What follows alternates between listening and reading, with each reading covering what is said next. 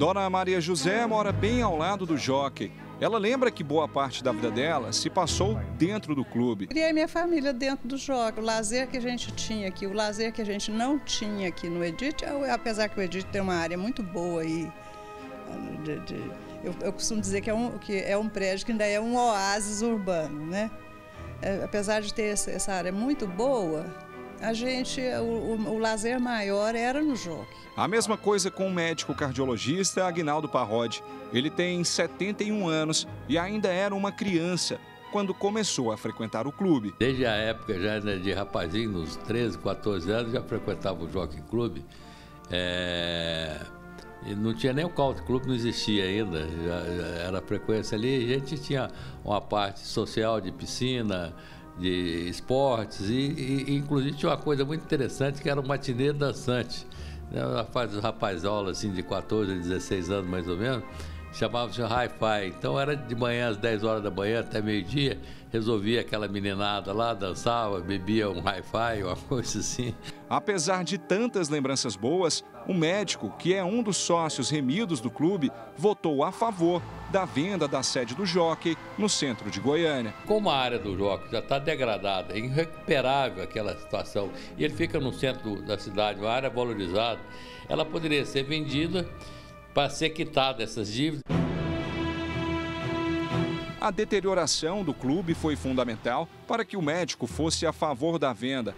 A Record TV já mostrou que desde 2015 o clube está fechado e a situação do prédio é de completo abandono.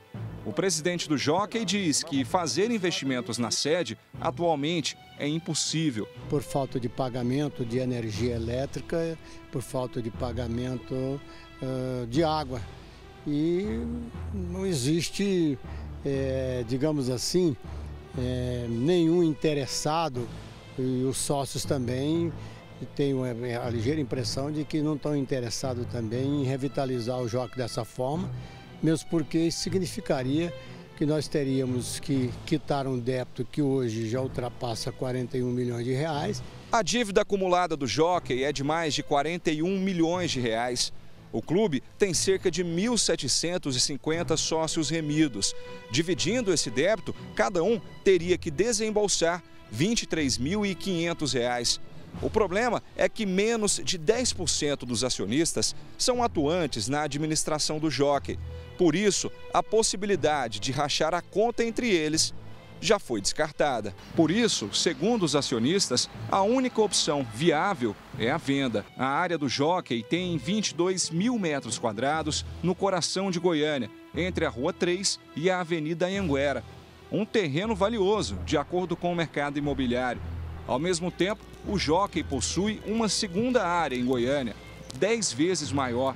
O hipódromo da Lagoinha tem 225 mil metros quadrados, na cidade de Jardim, ao lado do Detran.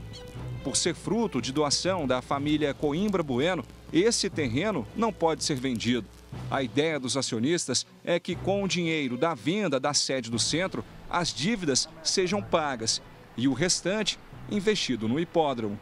E a ideia nossa era revitalizar de forma geral o que sobrasse dessa venda, o que remanescesse dessa venda. E além disso, nós tínhamos encomendado a um arquiteto um projeto de um clube enxuto, um clube moderno, consentâneo com a vida atual. Quem frequentou o clube no centro conta que os sócios deixaram de ir no jockey quando os condomínios passaram a ser mais atrativos que o clube. Por isso, talvez a solução para resolver a situação de penúria do jockey seja olhar para o futuro. Os clubes, eu acho que clube para funcionar teria que ser campestre, né? Como clube, eu não vejo o jockey mais funcionando assim. Os condomínios já com, com academias, partes de, de natação, de piscina, essas coisas todas, então não tem muito sentido um clube como era realizado antigamente.